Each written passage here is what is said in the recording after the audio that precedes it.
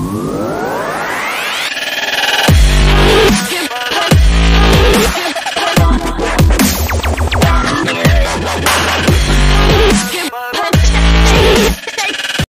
dear students, I Abhishek Kumar. Welcome back on my YouTube channel Technomaster Abhishek.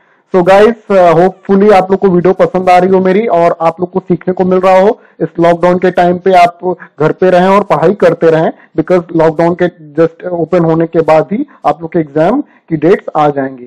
तो students uh, जैसा कि पहले भी मैंने चैप्टर वन डिस्कस किया था कैड कैम का जिसमें मैंने uh, उसके पाँच पाँच पार्ट्स हैं जिसमें मैंने डिस्कस किया था। बेसिक्स कैड क्या होता है what is CAM what is CIM automation क्या है डिज़ाइन साइकिल डिज़ाइन प्रोसेस वो सारे बेसिक्स मैंने डिस्कस कर लिया था चैप्टर नंबर वन के पार्ट वन से फाइव में। अगर वो वीडियोस आपने नहीं देखी तो उसको प्लीज़ पहले देखें, फिर आगे बढ़े। और साथ ही साथ स्टूडेंट्स अगर आपको वीडियो पसंद आ रही है तो लाइक शेयर और कमेंट और सब्सक्राइब करना ना भूलें।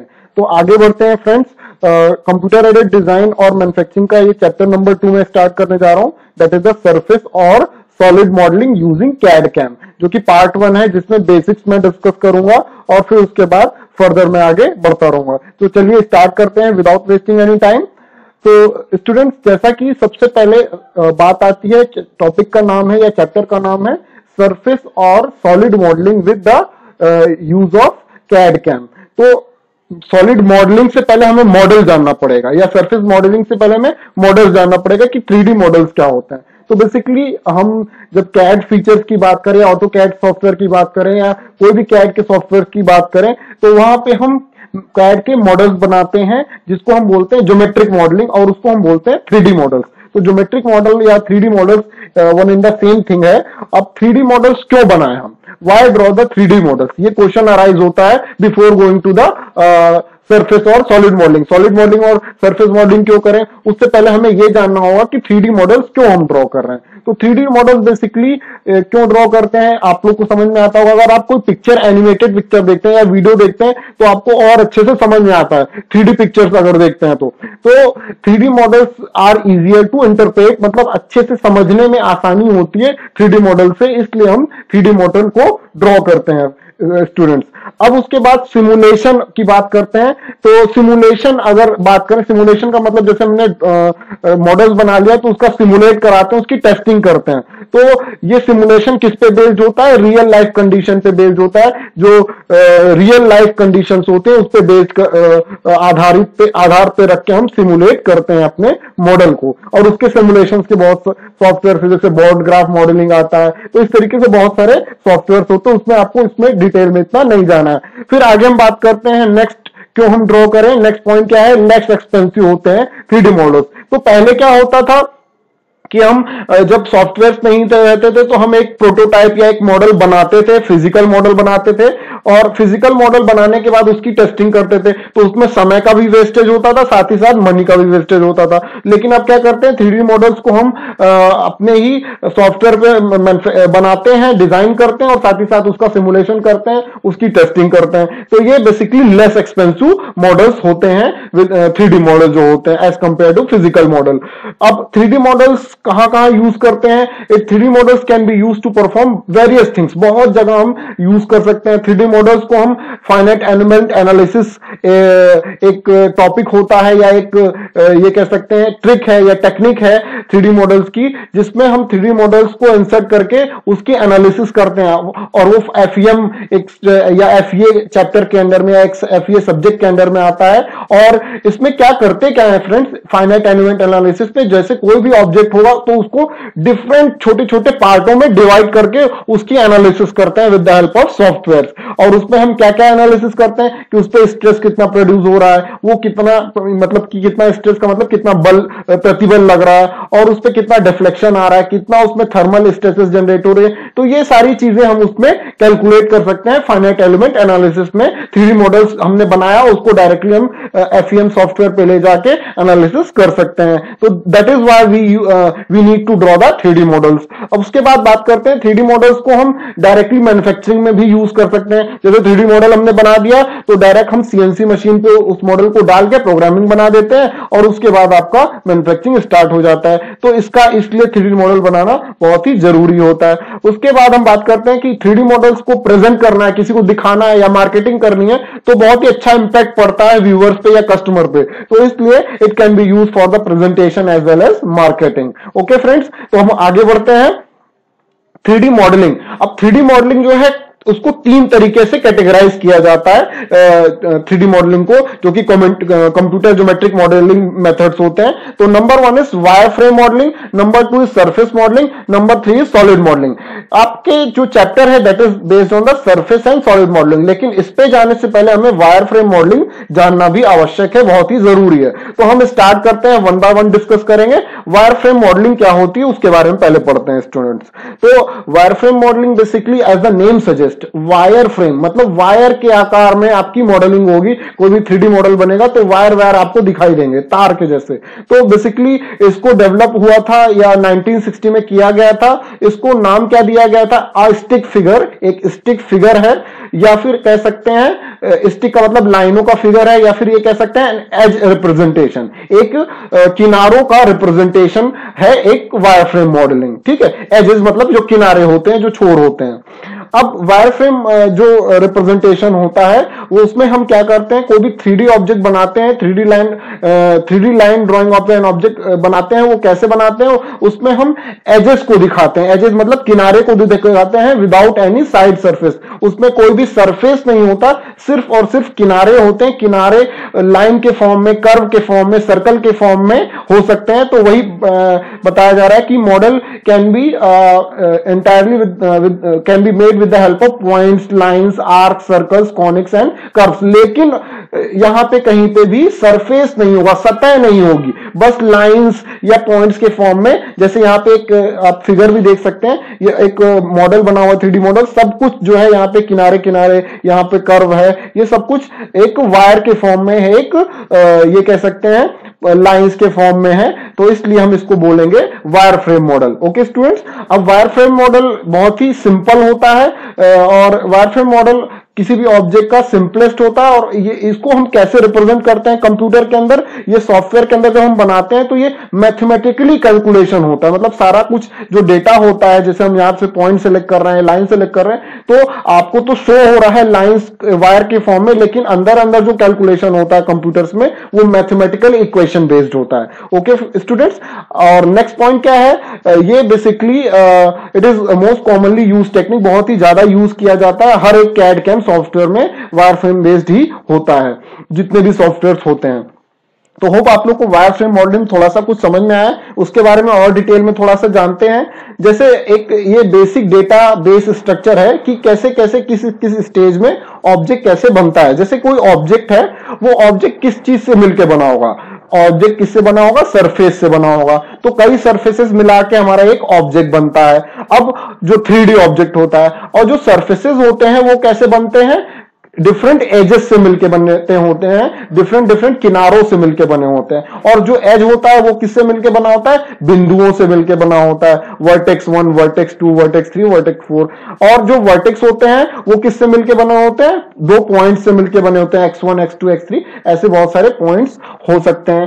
तो बेसिकली स्टूडेंट्स ये आपका बेसिक डेटाबेस स्ट्रक्चर है। तो अगर हम बात करें आपका वायर फ्रेम मॉडल तो वायर फ्रेम मॉडल कहाँ पे लाई कर रहा है? यहाँ पे। यानी कि वायर फ्रेम मॉडल बिल्कुल किससे मिलके बना है? एजेस से। और एजेस में क्या क्या चीज़ें होंगी? वर्टेक्स होंगे पॉइंट्स होंगे। तो वो सारा कैलकुलेशन सॉफ्टवेयर के माध्यम से अंदर ही अंदर होता रहता है स्टूडेंट्स फिर हम आगे बढ़ते हैं सरफेस मॉडलिंग की तरफ़। तो वायर फ्रेम मॉडलिंग में ज़्यादा हमें डिस्कस नहीं करना बिकॉज़ ये आपको बस नेसेसरी था जानना।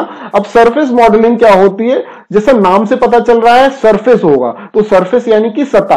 तो बेसिकली सरफेस मॉडल क्या रिप्रेजेंट करता है? It it represent the skin of an object किसी ऑब्जेक्ट की स्किन को, चमड़े को, ऊपर की जो सतह होती है, उसको दर्शाता है। ठीक है? और इस स्किन में कोई भी थिकनेस नहीं होती। The skin have no thickness और मटेरियल टाइप अब हम बात करते हैं कि सरफेस मॉडल कैसे बना होता है। ये basically it is the set of the faces मतलब कई फेसों का, कई फेसेस का समुच्चय होता है सरफेस मॉडल तो जैसे एक सरफेस मॉडल ये बन रखा है तो एक फेस ये हो गया, एक फेस ये हो गया, एक फेस इस साइड से हो गया, एक फेस नीचे हो गया। तो कई फेसेस से मिलके, कई फेसेस सतहों के समुच्चय से मिलके एक सरफेस मॉडल बनके तैयार होता है स्टूडेंट्स अब सरफेस मॉडल के बहुत सारे फीचर्स होते हैं सरफेस फीचर्स कहलाते हैं उसमें. सरफेस फीचर्स अगर सरफेस मॉडल में क्या क्या फीचर होगा? सरफेस फीचर लेकिन सरफेस मॉडल में सरफेस फीचर के साथ साथ क्योंकि सरफेस किससे मिलकर बना है? एजेस से मिलकर बना है, किनारों से मिलकर बना है तो सरफेस फीचर सरफेस मॉडल के अंदर सरफेस फीचर भी होंगे एज वेल एज एजेस भी होंगे, किनारे भी होंगे ऑब्जेक्ट्स के। ओके अब इस ये भी किस पे बेस्ड होता है? मैथमेटिकल फ़ंक्शन पे बेस्ड होता है।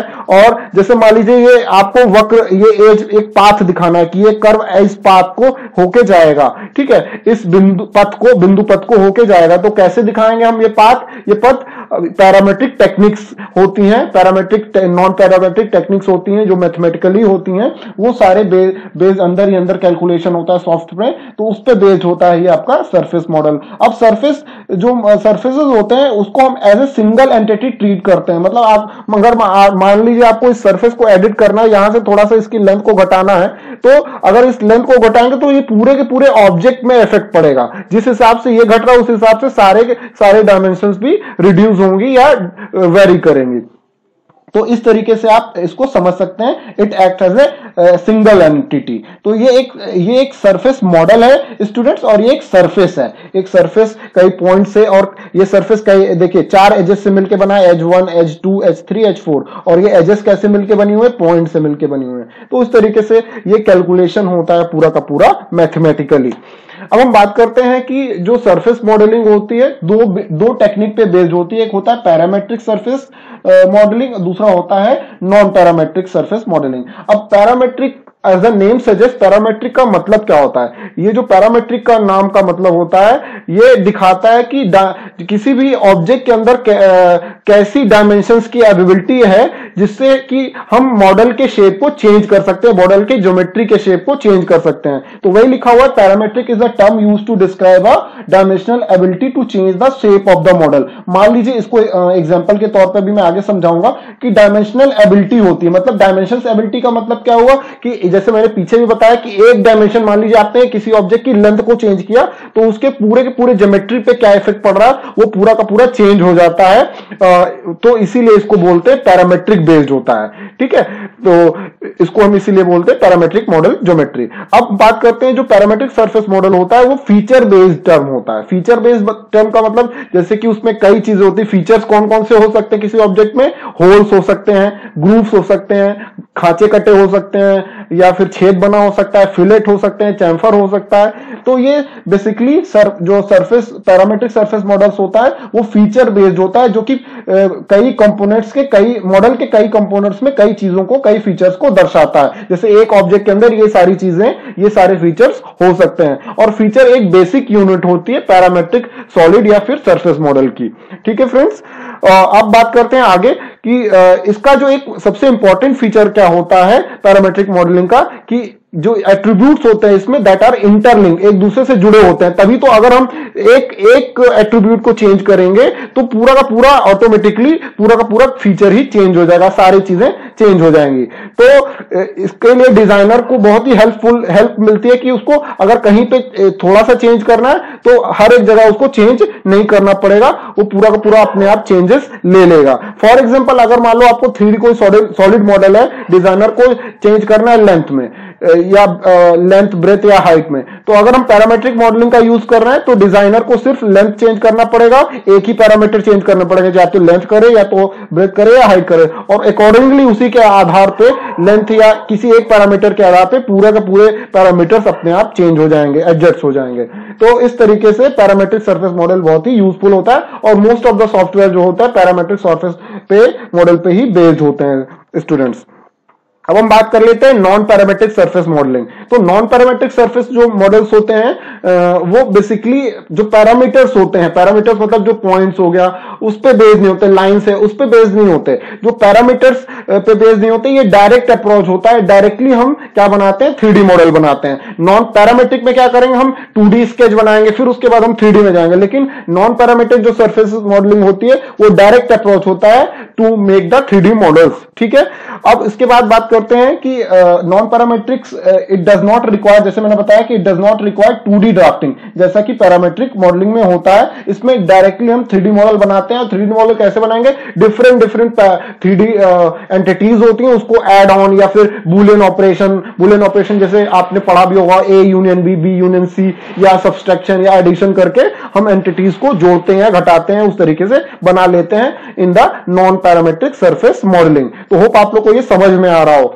ठीक है? तो that means this means you directly model your ideas without working with preset constant कोई प्रीसेट कंस्टेंट लगा हुआ है कोई उस पर बेस नहीं होता है ये डायरेक्ट आप मॉडल को बना सकते हैं। ठीक है? अब uh, लेकिन आज के जो टाइम में uh, बहुत ही uh, ऐसे सॉफ्टवेयर या कैड एप्लीकेशन ढूंढना बहुत ही मुश्किल होता है जो नॉन पैरामेट्रिक सरफेस मॉडलिंग पे बेस्ड हो। लेकिन मोस्ट ऑफ़ द जो सॉफ्टवेयर कैड प्रोड्यूसर्स होते हैं वो क्या करते हैं कि जो पैरामेट्रिक पैरामेट्रिक सरफेस मॉडलिंग के feature plus non parametric surface modelling के फीचर, दोनों को कंबाइन कर देते हैं दैट मीन ये कह सकते हैं जुगाड़ टेक्निक तो दोनों के फीचर्स को कंबाइन करके एक नया एक सॉफ्टवेयर बना देते हैं, जिसमें दोनों फीचर्स हो सकते हैं. जैसे आपका राइनो होता है एक सॉफ्टवेयर क्रियो है फ्यूजन थ्री तो ये सारे जो सॉफ्टवेयर है, वो parametric as well as non parametric surface modelling को फीचर दोनों को शो करता है. तो होप आप लोग को ये समझ में आ गया हो। अब बाकी का बाकी के डिटेल्स मैं नेक्स्ट वीडियो में डिस्कस करूँगा। ठीक है होप आप लोग को ये समझ में आया हो कि पैरामेट्रिक और नॉन पैरामेट्रिक सरफेस मॉडलिंग क्या होती है। अब नेक्स्ट वीडियो में हम डिस्कस करेंगे कि सरफेस को कैसे क्रिएट करते हैं स्टूडेंट्स जैसे कि सरफेस मॉडल्स में भी कई सरफेसेस होते हैं रूल सरफेस है, आपके, या रिवॉल्व सरफेसेस है, वो कैसे हम सर्फेस को जनरेट करते हैं, वो हम नेक्स्ट वीडियो में डिस्कस करेंगे। तो होप आप लोग को पसंद आया और पसंद आया तो लाइक शेयर सब्सक्राइब करना ना भूलें। तो आगे स्टूडेंट्स हम आ, कुछ ज्ञान की बातें कर लेते हैं अपार्ट फ्रॉम द स्टडी तो आज ज्ञान की बातें हैं वर्ड्स ऑफ़ दैट है नंबर वन वर्ड इज़ है जंकेट जंकेट का मीन्स होता है स्टूडेंट्स ट्रिप और सरकारी खर्चे पर यात्रा। जो यात्रा होती है उसको बेसिकली जंकेट बोलते हैं जो कि सरकारी खर्चे पे होती है या की जाती है। तो याद कैसे करेंगे? जंकेट को जंकेट यानी जनक जंकेट को हम रिलेट कर रहे हैं जनक केट यानी जनक कैट को लेकर कैटरीना कैफ बेसिकली रिलेट कर रहे हैं। तो जनक कैट को लेकर यात्रा पर गए। तो जनक कैट को लेकर यात्रा पे गए और कैसी यात्रा पे गए? सरकारी खर्चे की यात्रा पे गए। तो जंकेट का मतलब होगा ट्रिप या फिर सरकारी खर्चे पर यात्रा। उसके बाद students next word is lank या लैंक बोलते हैं इसको। इसको रिलेट करते हैं लंका से बेसिकली लेकिन पहले इसका मीनिंग जानते हैं। लैंक का मतलब होता है लॉन्ग एंड थिन या फिर दुबला पतला। तो बेसिकली लैंक को रिलेट कैसे करेंगे कि लंका के लोग तो जो लंका के लोग हैं, वो पतले दुबले हैं, क्योंकि रावण चला गया, रावण खत्म हो गया है। तो लंका के लोग कैसे हो गए हैं? पतले दुबले हो गए हैं। तो लैंग का मतलब हो गया लॉन्ग एंड थिन या फिर पतला दुबला, या दुबला पतला कह सकते हैं। तो लैंग को रिलेट करेंगे, लंका के लोग कैसे होते हैं? पतले दुबले होते हैं, क्योंकि रावण वहाँ का चला जा चुका है। तो होप आप लोग को समझ में आया और कुछ ये नई ट्रिक समझ में आ रही हो। और अगर समझ में आ रही हो तो लाइक शेयर सब्सक्राइब ना करना भूलें। और साथ ही साथ keep watching the as well as keep learning stay home be safe and fight against the corona virus thank you thank you to all for watching my video